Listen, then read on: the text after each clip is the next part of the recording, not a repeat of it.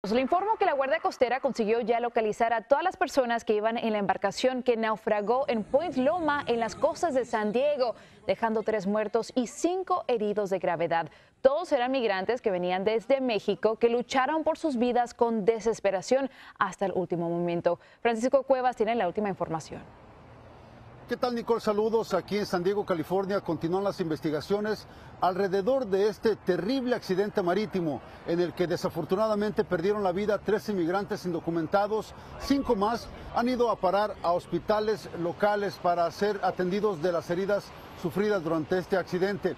Todo esto mientras han comenzado a surgir nuevas imágenes grabadas por testigos que presenciaron cómo estas personas que viajaban en esta rudimentaria embarcación comenzaron a saltar desesperados luego de que chocaran en contra de una zona rocosa.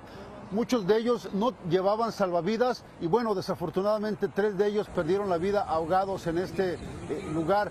Los testigos comenzaron a hablar con las personas que brincaban del bote y la mayoría de ellos dijo que provenían de Tijuana, México.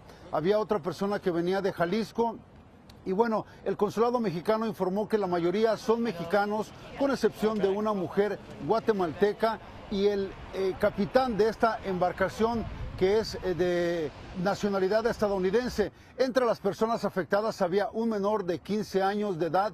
La embarcación partió un día anterior del accidente de Puerto Nuevo, a unas 50 millas al sur de donde me encuentro, un viaje que se está haciendo cada vez más común, un viaje peligroso y que desafortunadamente está eh, teniendo este eh, tipo de tragedias con tres personas que murieron en esta ocasión. Las autoridades han informado que estos incidentes han aumentado en un 90% en el presente año fiscal, lo cual quiere decir que los coyotes están desafiando a las autoridades tratando de pasar su cargamento humano rumbo a los Estados Unidos con estas eh, tragedias, estas pérdidas humanas. Las autoridades han dicho que el capitán de esta embarcación está ya en custodia de las autoridades y bueno, él podría enfrentar serios cargos criminales ya que aquí han perdido la vida tres personas. Eso es todo lo que tenemos. Nicole, regresamos contigo a los estudios.